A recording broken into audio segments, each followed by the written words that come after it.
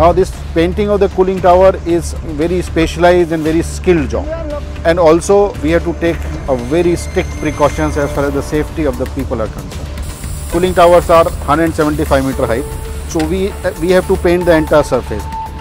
That means all the painting work is involving the work at height.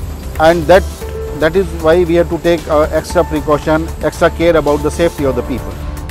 Technology we have is the use of the access platform, day-to-day language we call gondola.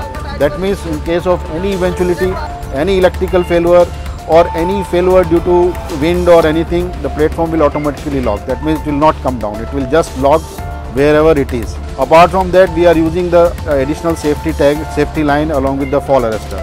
That means the fall arrestor is attached to the person through the safety harness.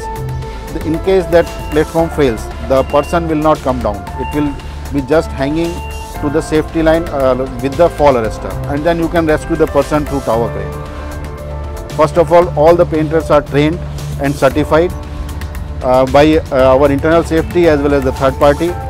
And then on every, on daily basis before they go to the job they are reminded through the toolbox talk that what are the precautions they have to take.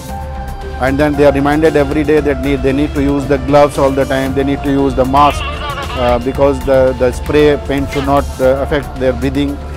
So all these precautions they have to take which is reminded on a daily basis uh, when before they go to the job